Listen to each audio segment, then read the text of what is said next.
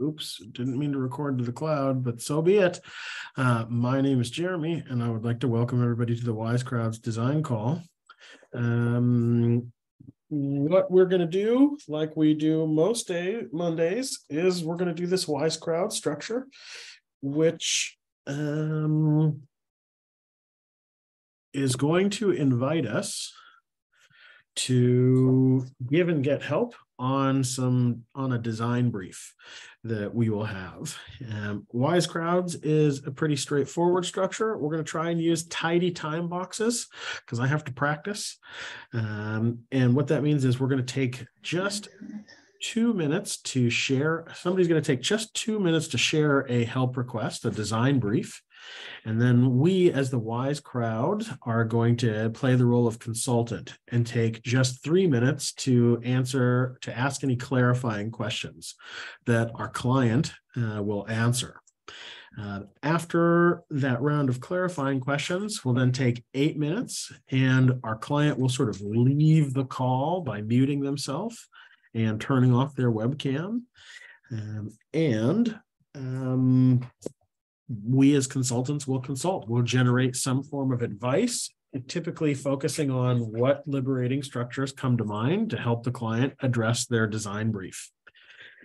And after eight minutes, the client will come back and share their uh, their takeaways, basically what they found helpful, insightful, completely useless, or you know, or some point in between uh, regarding our consultation. And then we'll rotate in a new client and uh, work on any design briefs that are left in the room until basically until we run out of time or we run out of design briefs. So um, I know I kind of rushed through that. Is there anyone for whom that structure is not clear? That needs some clarification on how we're going to go about this wise crowds thing. Not really clear, but I figure that I can't mess it up. So, or can I? that this this is true. This is great. Um, I will take that um, and run with it. So, I'm hoping. yeah, it'll be fine. It'll be fine. Yeah, yeah same here. We'll figure it out as we go. Um, so the first question is: Does anybody have a design brief for us to work on?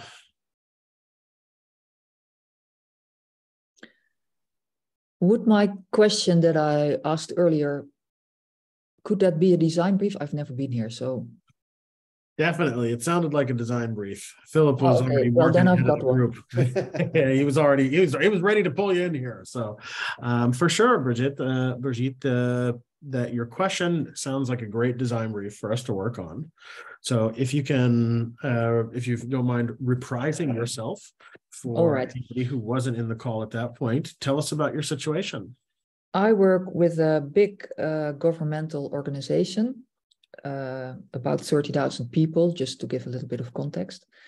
And we have to solve an issue.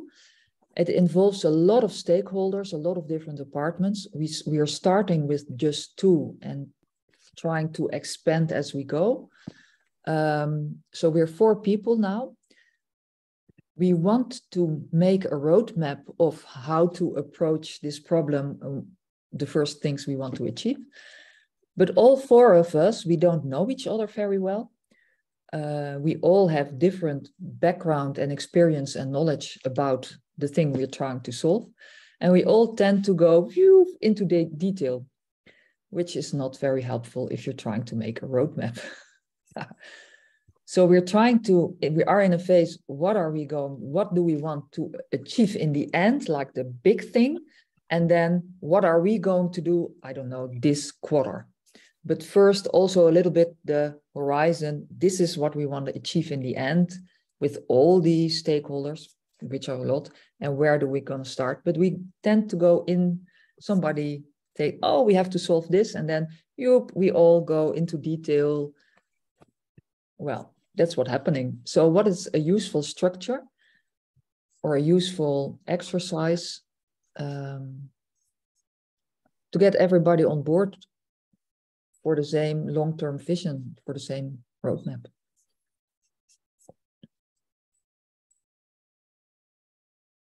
Awesome. That sounds for sure like a, a design brief. Um, clarifying questions.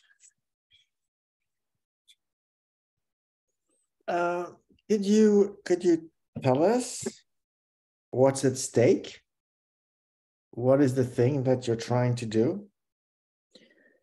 We, well, 30,000 people, a lot of different departments, and within departments, we're a lot of different teams.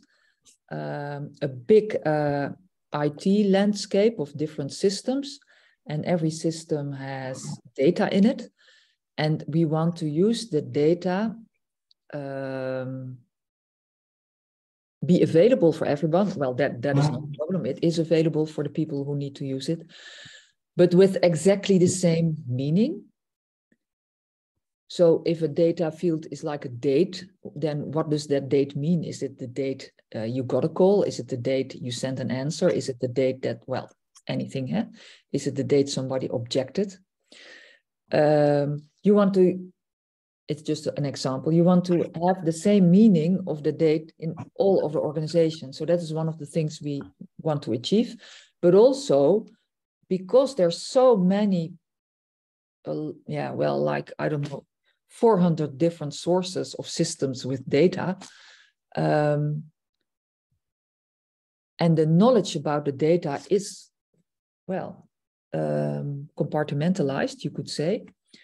How can we at the end users, the people who do data analysis, how can they ask their questions if they have a question about the data in this field of 400 systems of data and 400 user groups who designed the system and have knowledge about this data and are well it's all uh, they're all small islands basically um, all these systems.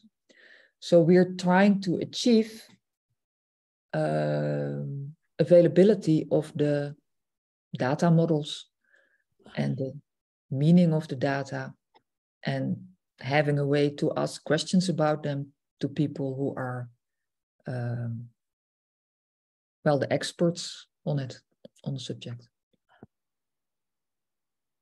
Um uh so my question would be like the, the four persons, do they all work for that government organization or Yeah, yeah, are they, all- are they, yes. we're all internal yes. So And we in have, the same department? any, sorry? In the same department, no two departments. Two departments. so we're already it- two stakeholders yeah Okay, and from your department, you're the only one? no it's two from my department and two from another department Okay. And just, um, what's the frequency of your meetings or what, uh, like, what are? they? Well, we start uh, coming Thursday, and then we'll we will be meeting weekly until uh, Christmas holiday. That's just, and then depending on where we start, we decide on frequency of meeting after that. You guys have a deadline. No. There's not a management or somebody high up who has given us a deadline. No. Is there somebody higher up that knows uh, what you're? yes, yes, yes. Are they happy about it? No, they they acknowledge the problem Okay. and the challenge. Yeah. And and that is time. Hmm.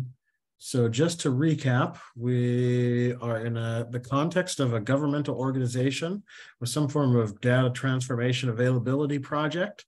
It sounds like our initial purpose and an outcome that we're sort of handling in this brief is really just the sort of setup of this project and the getting to know each other of, of these people. Yeah. Um, in terms of participants, we've got a small team of four people from two different departments representing two different stakeholders. And the initial setup or particulars is going to be a weekly meeting. Um, and then uh, the frequency will sort of be to be decided. And at, at present, no particular deadline with regards to the larger outcomes of this project. So, um, what I will do, uh, Brigitte, is invite you to, like I said, to mute yourself and turn off your webcam, but importantly, listen while Yeah, we yeah, have a conversation about your situation. So that's the design brief. And my question to everybody is what liberating structures in particular come to mind that might help us with this initial phase of getting started and um, uh, getting to know each other? Uh, I, I would like to, I, I, I didn't really understand, um, understand the same thing as you did. I, I thought that the intent was to do a roadmap. And the idea was that people were, you know, thrown, you know, they discussed things and instead of thinking about that, they sort of like went into the details of various aspects, which were good to get to know each other, uh, but not uh, for the project which is basically a roadmap. So my first question to all of you guys is, do you think the roadmap is the right thing at this stage? Um, well, I'm I'm not quite sure that the roadmap is the right thing. Because my assumption, based on what has been said, is that this is a work around the work of the four persons specifically and them being able to kind of gel and not get into the details, but come up with a way of getting to that roadmap bit of it. Uh-huh. So we have some ambiguity in our design brief. Is is the phase of the project uh, uh, are we looking to to create a roadmap? Is that the deliverable of this project, or is or is the roadmap just the first step of of the delivery of the project? Um, I'm not sure. I I I think though, um, we can we can think about both scenarios um, in terms of what might be reasonable action. I mean, it, it sounds like this might be a larger scale project and that it has very wide reaching implications. So uh, as a roadmap is sort of a step along that way, those ways. Um, I, I think it sounds like these nerds are going to be talking to each other and going to need to figure out how they're going to work together to deliver whether it's a roadmap or whether it is the the bigger thing. And so what, what are, are there any particular patterns that might be helpful to get started on this and then to deliver that roadmap? Let alone do the do the work of uh that the roadmap sort of consists of? What comes to mind You mean in terms of liberating structures? Totally. I mean, or whatever. I mean, but yeah, liberating structures would be super handy. Mm. What about purpose to practice? Totally. I can dig that. Because I, I think I think that they're at the very early stages, right? Uh, so so why don't why don't you know we start by the beginning, like um, you know Lewis Carroll would say. purpose to practice. Mhm. And since we, we may have some folks on the call that are unfamiliar with purpose to practice, do you want to, you want to, uh, we've got raised hands. Do we, uh, do we want to, who wants to unpack purpose to practice? Is that what you're raising your hand for, Sherry? Do you want to give us your, your breakdown of purpose to practice?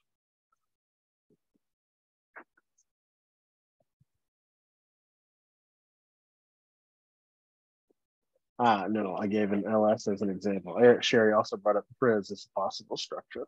Cool. So, um, so for purpose to practice, Philip, did you want to give an explanation on purpose to practice? Who wants to talk about purpose to practice? It's not me. I'll, I'll um I'll sort of go through the uh, through the structure of that. Although I haven't um I haven't uh, done it, so I'm not I cannot uh, bring some um, you know um, uh, heuristics or or good a good advice about how to go it. But the idea is basically, from what I understand, it, it, it is a way to to get a, a, a very um, a very structured um, way to to get a, a, plan or a project into focus, and it's and it basically uh, comprises five elements. That and the first one is purpose. So what is it that we're doing? The second one is principles. What are the rules? that we're going to obey to, to deliver on that, on that purpose. Then the third one is participants. An interesting question in that in the case that uh, in our case today, who who should be included, and and possibly when. And um, the fourth is how we will organize and distribute control, which is about governance, which is very important. And then what are we going to do uh, uh, and and that you get into the more um, the more um, how do you say practical development. This is when you might be able to start drawing on the, the roadmap per se. So I'm not going to go because we don't have very much time. So I'm going to stop here. Hopefully that people have an idea of what the structure is about. Cool. Thank you. And then we've got also Triz came up. Sherry, do you want to give us some uh, uh, like a Reader's Digest version of how sort of TRIZ works and how we might apply it for this one?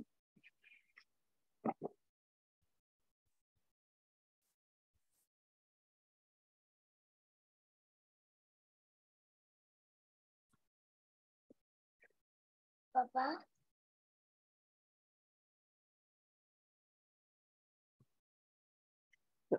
Sweet. So Sherry says Triz is an exploration on what's the worst that could happen and what could possibly go wrong when you try to make a roadmap, i.e., get into the weeds. For sure. And what I might add to that is that we can we can also use it to actively think about what we could what we could do to create that worst possible outcome I think those are super solid recommendations as for at the beginning of a project. Defining the negative space with TRIZ is always great. What I would say is they they they sort of fit inside to each other. So Philip laid down like the big broad art of purpose to practice. And maybe before I monopolize the rest of the time, is there any other structures that come up uh, to come to mind that we have heard of or tried or yeah, so I, I haven't tried all of them. So literally I just typed in to look on the menu. And because like we have said so far, I think the four people alone, they're not going to be able to kind of get to the roadmap. They're going to have to get other people on board. So I was thinking in terms of one having to kind of do initially impromptu networking for those specialist areas because it sounds like everybody's sitting in silos so there hmm. needs to be some impromptu networking to find out who are the SMEs that will need to kind of be heard when you kind of get to the wider audience. So that's that's what I was thinking in terms of doing that. And then also they, there's a quest, there's appreciative interviews, also kind of interviewing people to kind of get an idea about what will determine the success because it's such a big organization. I yeah, I just don't see how the four alone without actual sponsors from the other silos. Mm. You're you're gonna get the roadmap sorted. Totally, totally. Um, yeah, thank and, you. that and that that that uh, triggers in me the idea of maybe open space technology because in the end why why not include as many people as we as, as they can possibly at the very beginning you know instead of trying to go uh, like the, the the road that was suggesting through sort of little little little committee why don't just put it out there and just like eh, you know organize an open open space technology on the topic I, I, the only reason why I would suggest a little committee is to get more people to do the open space kind of organizing. But mm. I, I, I love open space, so I completely agree with that. I think it's magic when you have uh, when you have some very important uh, number of people and you can really draft a very interesting uh, and instead of tr- you trying to figure out how to go about things you let the people decide and and and propose and design. And i think it can be very interesting. I don't know what jeremy think about this. What do you think about this jeremy? Mm, i think open space is dope. I think there's some important work that i might want to to do on the front end to help improve the probability of the necessary people participating if i if i would start off with purpose to practice um, i think that's a that's a, a good route. I, I might use an expanded version of several structures. Like so purpose to practice is one of these sort of macro structure things.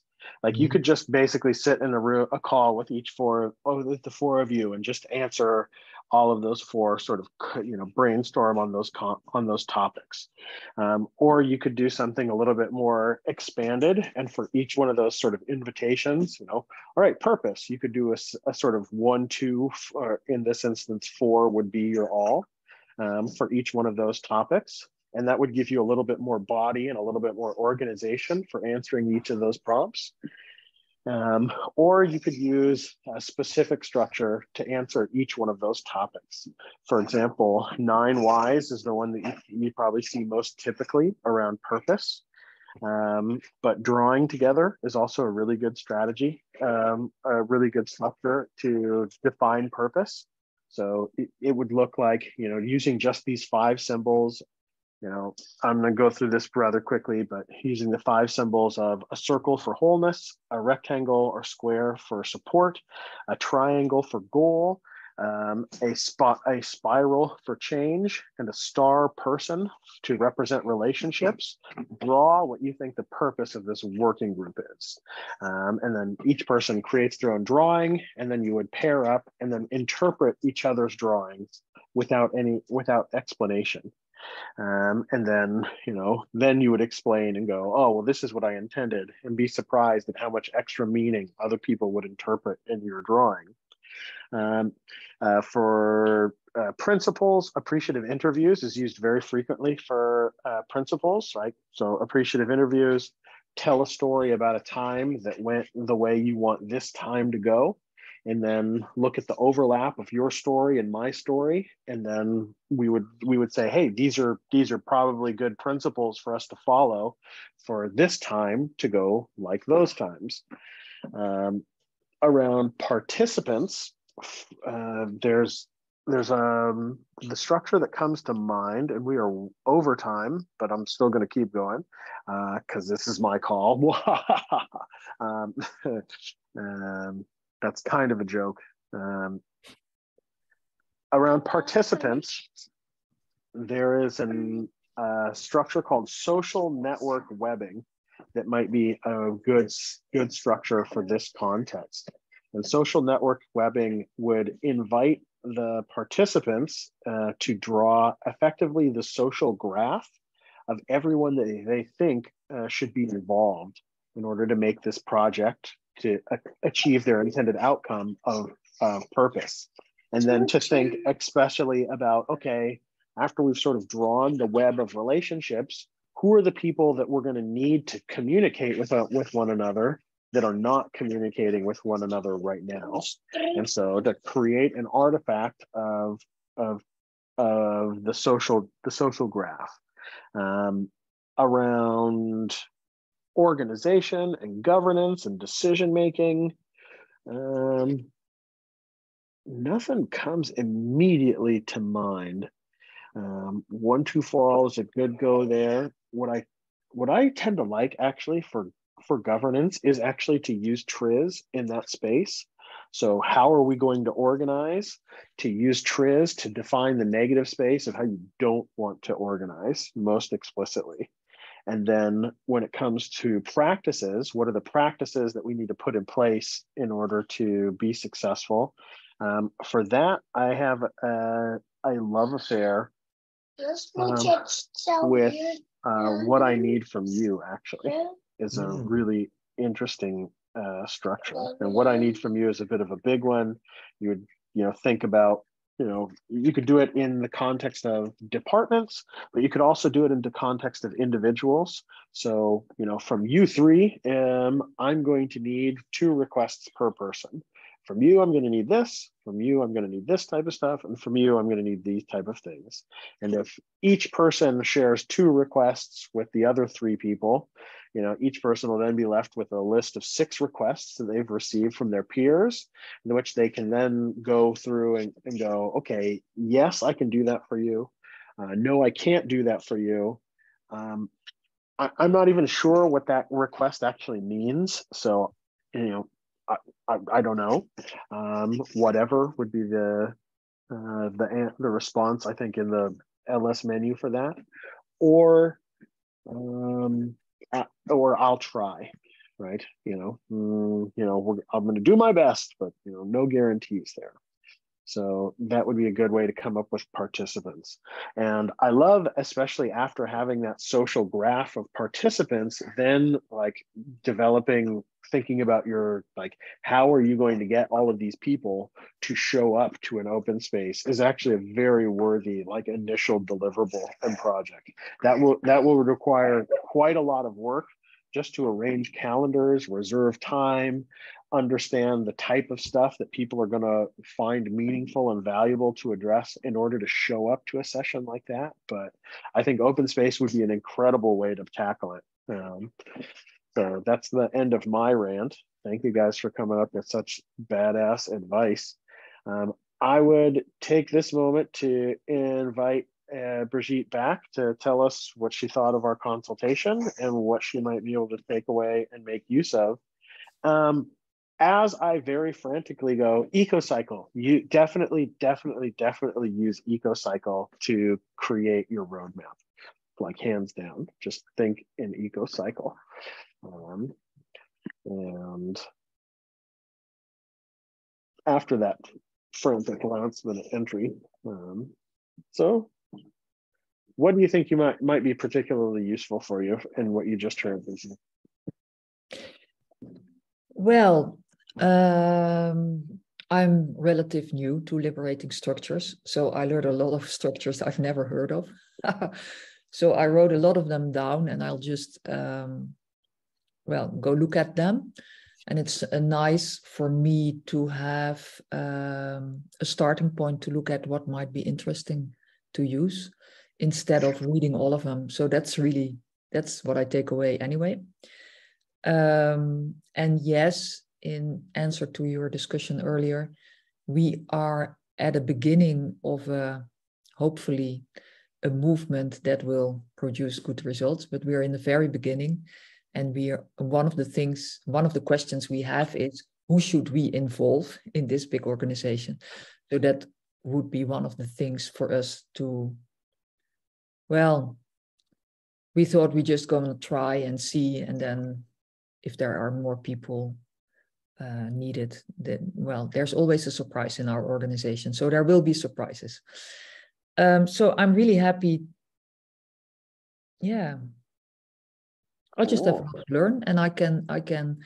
Uh, the purpose to practice sound very interesting, but I think, like you did, just start with one element of it and work that out instead of putting the whole structure in one meeting. I know, but you. Uh, by the way, you, it's not recommended that you do. You do. You try everything immediately. No, no, no. But it's really nice um, to know what are the interesting structures to to uh, read and see what I can use of it. Yeah. yeah, the, the the the the you know the purpose to practice is is a process. Yeah. And then you can you can you can use it. Yeah. In in ways that suits your your purpose, basically. Yeah. For sure. I think especially that question around the social graph seems relevant. And um, in the chat, I put a link to a document. I'm going to briefly share the screen and we're going to go through the eco cycle right quick. Um, once I figure out where the button is. uh, yeah. Ah, the big bright green one eh, right in my face. Yeah. Okay. Because I've I've used Zoom before, I swear. Um, so eco cycle, the question that we started with, uh, Brigitte, in the Yeah. the top of the the session in impromptu networking was actually I sort of lifted from this pattern that is eco cycle, and so what I asked was, what are the things or that are in the regeneration or gestation or seed phase, as you see here in the visual, and then what you would basically do is use the use the whole pattern to sort of plan out your roadmap. But instead of thinking in what you might be tempted to do of a strictly linear start to finish, but to think about like as you come to the end of the first phase of your project, rec- with recognition that that that end of that phase is actually the beginning of the next phase of the of moving from again the next seed that you guys plant into the birth of that thing. Um, and then thinking about especially what's probable so birth being early stage after you've put some thought and time and energy into it but you're not quite there yet. You don't have anything about that uh, um, uh, viable to sort of like show as finished project product. Maturity having something that is sort of uh, valuable to the outside world and might you might describe as quite finished and creative destruction thinking about the the the negative space especially of what you might have to stop doing in order to make space for whatever you guys want to bring into actual into actualization and then uh, paying special attention to what you might find uh, to expect to find in the scarcity traps. Like, what are going to be the challenges? If I think about, let's just run with this idea of open space. If you guys could do all the work you could of of mapping out the stakeholder environment exquisitely and proposing an open space as a way to actually deliver on this roadmap what would be the the scarcity issues that you might run into that would prevent you from investing addition the necessary time and resources to even organize create and get people to show up for that open space. You know and similarly the the chasm between birth and and maturity what might be the things that you know after all of your great preparation might prevent you you sort of create a failure to launch situation that don't enable you to actually reach your mature you know well polished deliverables and then after after maturity you know what might be the patterns that you could get that you and the organization might get stuck in um, that you that are hard to stop in order to make space for creative destruction and release new and new energy into this uh, into this new batch of regeneration. So EcoCycle is a particularly powerful tool to not only think about the projects going forward, but also to reflect on how things are going. You know, if you were to take the portfolio of activities of just the way things are right now and to map it to this EcoCycle, it might be very telling for what you what type of things you find in these traps and what type of strategies you guys might discover to address them. Sherry's got a raised hand. What's up?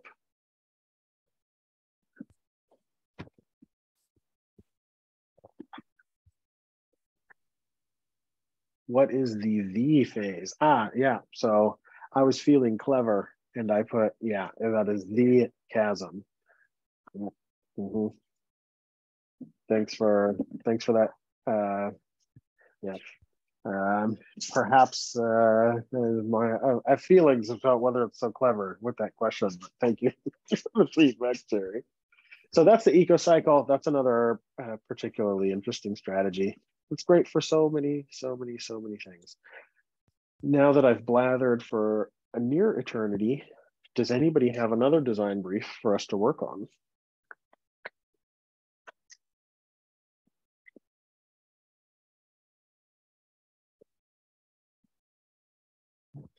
A situation, a question, a challenge.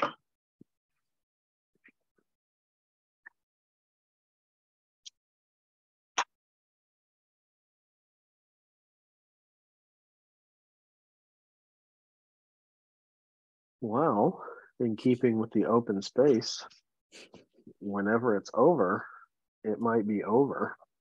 Um, could be one of the things we we expand on in addition, uh, considering we we mentioned open space, but open space is a has got lots of moving parts. Clarification: the difference between the scarcity trap and the chasm. Hmm.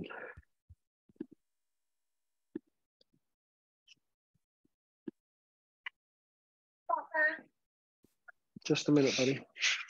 I know you want mama. So the scarcity. Uh, yeah. No, you can definitely not watch television. I love you so much. Go play with your Legos or draw, or you finished your boat. Check it out. That's a stone boat in Santa Claus.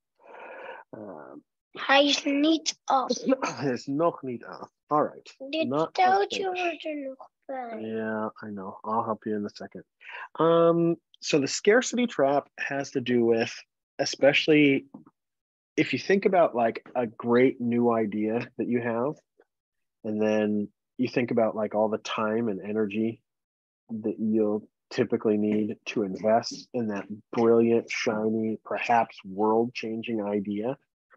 And if you think about how often you just I mean, after all of the things that you have to do to lead your life and all of the work that it's going to take to put this, bring this new shiny idea out into the world, like how often do we have great new ideas that just sort of sit in, you know, what, where do you put your ideas? I put mine in a Google Keep document, like all of my great startup ideas, you know, like yeah, my wife likes to say that she, you know, Netflix was one of her great startup ideas. That, of course, just stayed in her scarcity trap for for a little too long, and then oh, surprise, somebody makes Netflix, right?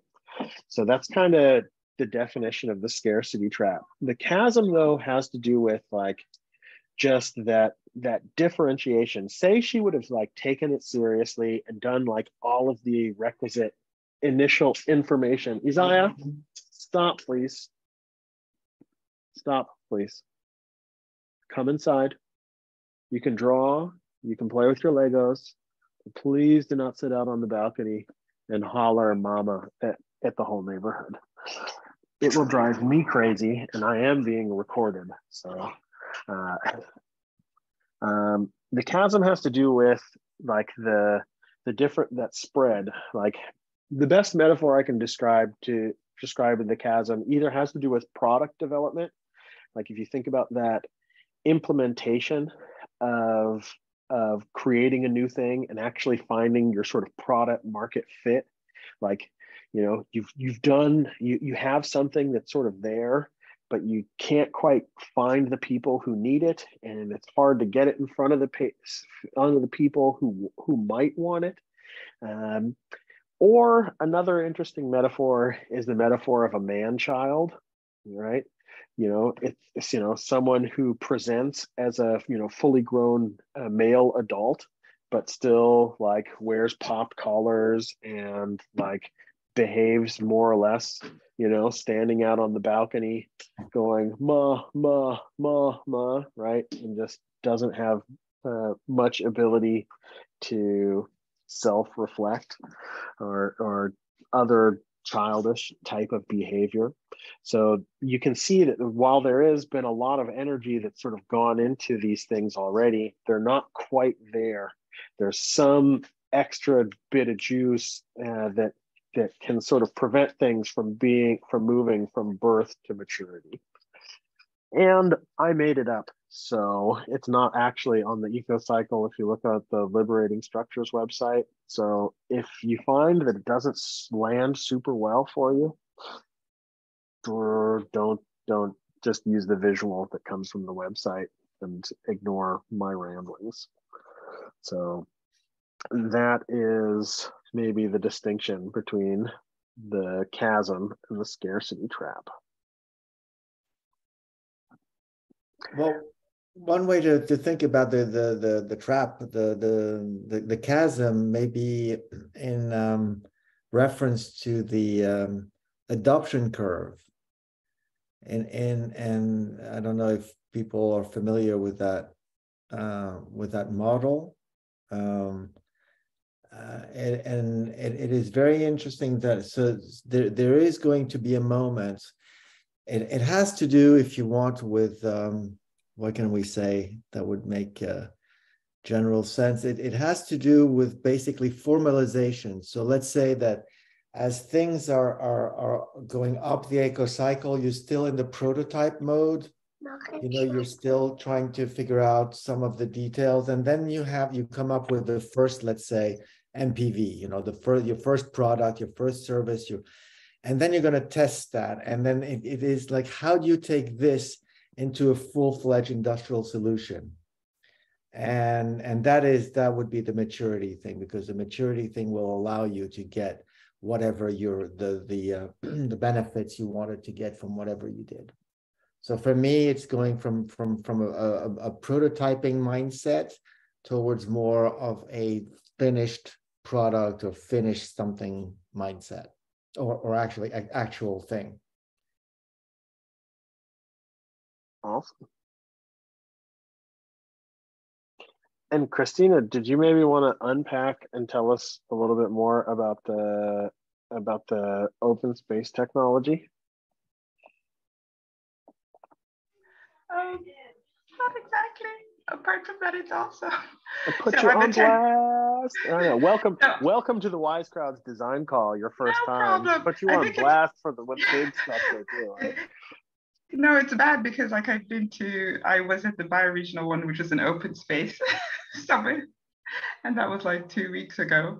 But I mean, what I love about open space, it's that everybody coming to the area and you know, you have the opening session of what do you want to talk about, and you kind of go through and people show up, they can be the bees or butterflies that move around.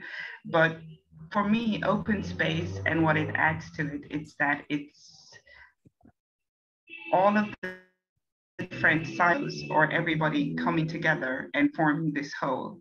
And that whole together decides what are the important discussion points. So yeah, it would be ideal for the scenario if you're in such a huge organization with so many silos to get everybody interacting and having knowledge of what let's say these different you know the special not not hoarders but the people who have their perfect little silos that, they sit in they will can share it at an open space event and those are the those are the rules of open space Totally. So we've got lots of information in there. So an open open space technology. Um, thank you, Christina, uh, you know, for sharing your enthusiasm. Um, open space technology is pretty badass. Um, it, it revolves around the creation of an artifact that allows people to self-organize uh, an agenda. And you would do that by sort of defining the time the time the increments of time. So let's just say for example you were able to organize a four hour open space. So you would figure out you know how do we want to divide time up for those four hours? Should we do sessions of 30 minutes or should we have four uh, four blocks of one hour? Let's just say that you decide to do four blocks of one hour each. And so you would have four of these sort of columns or rows for time. I, I hate this visual actually now that I think about it because I always like to put time on the on the the horizontal axis. Um, and it, it this here shows time going down but you know you would one space for one one column row one axis there we go one axis for uh, time and then you would think about the spaces so if you were to do this, for example, in a physical place, like how many different rooms, meeting rooms or conference centers, like what are the different spaces that other people that people could meet within those time bounds of one hour chunks. So uh, let's say if you had 50 people, it might be a very, a very good idea to have, you know, between four and six different spaces that these people could group up into different conversations. And so if you had, say, six different spaces and four different blocks of time, that would create 24 different distinct chunks of space and time. And then you would literally just invite the people to go and go, hey, what is the stuff that you're interested to talk about that you think needs to be explored during these this four hours? Um, and you would ask them to just sort of brainstorm that stuff. And then what you would do is you would invite them to come give a brief presentation and say hey in one minute who are you and what's the topic that you want to talk about and so everybody who has wants to raise a topic would go, you know, my name's Jeremy. I want to talk about this. I think this is really, really, really important. Uh, the surprising power of liberating structures. Now we can use them to to handle this project. And then typically what you do is you allow everybody to go, sort of present their topic. And then you would go back through the list of presenters and go, okay, so who's interested in uh, attending Jeremy's topic? And then everybody who's interested in attending my thing would raise their hand so that we could see in the room about how many people are interested in that topic. Because some spaces that you have might be more suitable for smaller groups, some might be suitable for larger groups. And then you would the, you would then uh, take the go take that second round and you would start placing those topics inside each of those six cells and that would also enable like the people that are interested in that topic to also self-organize the time spots right? Oh no i want to go to both topic a and topic b so i need to make sure those are separated in time because these are very important for me. And what we do is we use sort of four principles and one rule to organize the vibe. So first things first um, you know whenever it happens is the right time whoever comes is the right people. Whatever happens is the only thing that could have happened. And you know whenever it's over it's over. And so that sort of uh, sets the tone for the space with this idea of the law of two feet which is if you're not contributing to a on a session if you're not learning something from based on the, the room that you're in feel free to move and what you notice is that some people move a lot around a whole lot. They bounce from room to room to room. Some people make very specific uh, uh, connections from one room to another room. And some people don't do anything. I'm a butterfly, for example. I never go to sessions during open spaces. Um, and that actually has a very functional role in the context of open space. What's up, Christina? Hi there. Just a quick question for you, um, because I was looking at the when it's over, it's over section. Uh -huh. And I know that in terms of the open space ones that I've been to, they usually, they kind of pr produce like scribes, you know, from the different sessions. And they also have like a book of proceeding that follows afterwards. I was just wondering in terms of, in terms of in Brigitte's case, how exactly does that kind of translate to the the next steps afterwards if, if you get what i'm saying? Because you know like the the takeaway actions from like the open space event? Throwing it out there for anybody who might have had that experience after the open sure. space so if your work uh, so i think what you're you're pointing at is if you have if you're going to use this idea of open space this way of organizing time and attention but you have a specific thing that you want to deliver how do you sort of like bridge the gap between what feels like loosey goosey hippy dippy chaos um, to like the hard requirements of getting shit done? Um, what, what i would say is yes add in additional uh, tooling as you might find requirement, right? Um, and for that purpose, thinking about documentarians is very is is is great. You know, inviting every room to have some to elect somebody to to play the role of scribe. Um, thinking about how you might organize time within those spaces is also a great idea. So for example, in the Liberating Structures community, we, we tend to lean into what we call option space, which is at the beginning of every open space session, we usually do have a brief conversation or, you know, time permitting, a round of one, two, four all to think about what structures we want to use within the time constraints of that individual session um, to help additionally organize our time and attention and, and energy together. So um, thinking about how you might want to document that thing or sort of keeping an eye and, and, and an outcome that you want people to sort of move towards, making that explicit at the outset of this thing would be a great idea. Boom, shaka laka laka. And as a matter of fact, there's a there's a TED talk from one of like the OGs in the open space community um, where he talks about, I think, dancing with Shiva, where he, he mentions that uh, they, they developed an, an Olympic pavilion for like the 2000 Olympics in the course of like three weeks, which was unheard of at the time.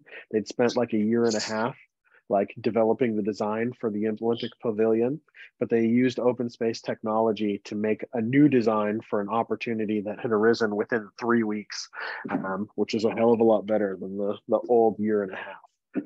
Um, I Google it, like YouTube is your friend.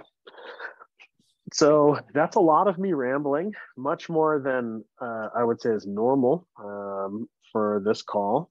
Um, but uh, thank you guys for your time, attention, and energy. I hope it's been helpful. Uh, Brigitte, if you want to come back and let us know which of these structures you were able to use and you know bring your learning back from that implementation into the space, that would be super awesome. We would greatly appreciate it. And uh, I hope to see you guys in a future session. Thank you, Jeremy. My pleasure.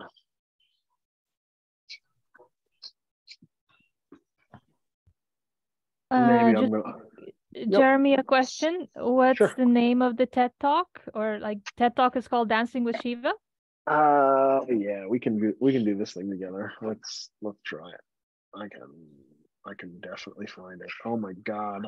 I opened YouTube and it was a video of this call. This is just playing in the background.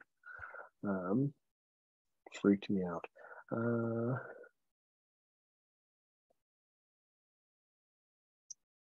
Open space, TED. Uh, yep, Dancing with Shiva. Here, I got it. I'll drop a link into the chat and you can check it out.